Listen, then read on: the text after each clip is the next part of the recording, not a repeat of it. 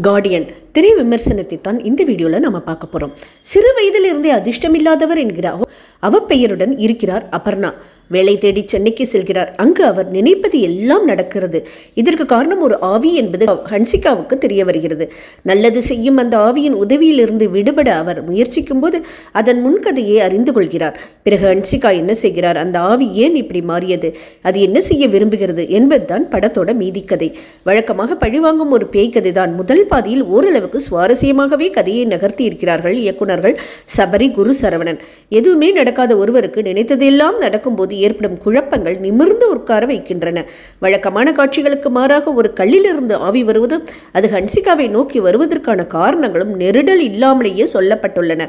பொதுவாக பேய் படங்களில் முதல் பாதி ஏற்படுத்தும் எதிர்பார்ப்பு இரண்டாம் பாதியில் பூர்த்தி செய்யும் அளவுக்கு திரைக்கதையை நகர்த்திச் செல்ல வேண்டும். ஆனால் அங்குதான் இயக்குநர்கள் கோட்டை விடுகிறார்கள். ஒரு பெண் ஆவியானதற்கு ஃப்ளாஷ்பேக் துடிதுடித்துக் கொள்ளும் நால்வர் அவர்களை பழிவாங்க புறப்படும் உக்கரமான ஆவி. அந்த ஆவிக்கு தேவைப்படும் ஒரு மனிதன். ஆவியை அடக்க மாந்திரிகம் என வழக்கமான கட்டுக்குள் கதை பயணிப்பது சோர்வடைய செய்துவிடுகிறது. மேலும் பயமுறுத்தும் அளவுக்கு காட்சிகள் இல்லாதது பேய்ப்பட உணர்வையும் தர மறுக்கிறது. கோரமாக ஒப்பனை செய்து கொண்டு நால்வரையும் தேமே என பேய் கொள்வதும் சலிப்பை ஏற்படுத்துகிறது. ஆவியின் ஃப்ளாஷ்பேக்கை கேட்டதும் தன் உடலில் ஆவி இறங்க ஹன்ஷிகா சம்மதிப்பது போன்ற காட்சிகள் ஏற்கனவே வந்த படங்களை ஞாபகப்படுத்துகின்றன. ஆவியை கல்லில் அடைக்கும் மந்திரவாதி அந்த கல்லை அப்படியே விட்டுச் செல்வாரா? பேய் படங்களை காமெடியாக எடுக்கும் இந்த காலத்தில் காமெடிக்கென தனி ட்ராக் போல் காட்சிகள் வைத்து வீணடிக்கிறார்கள்.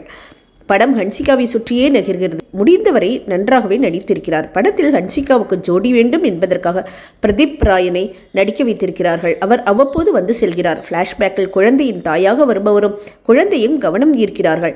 வில்லன்களாக சுரேஷ் மேனன் ஸ்ரீமன் ஸ்ரீராம் பார்த்தசாரதி உள்ளிட்டோர் கொடுத்த வேலையை சரியாக செய்திருக்கிறார்கள். மொட்டை ராஜேந்திரன் தங்கதுரை காமெடி கூட்டணியில் ஈர்ப்பில்லை. படத்துக்கு இசை ஷாம் சிஎஸ் பாடல்கள் ஓரளவு ரசிக்க வைக்கின்றன. திகில் படத்துக்குரிய பின்னணி இசை மிஸ்ஸிங். சக்திவேலின் ஒளிப்பதிவிலும் தியாகராஜனின் படத்தொகுப்பிலும் குறைவில்லை. இது காரமில்லாத கார்டியன்.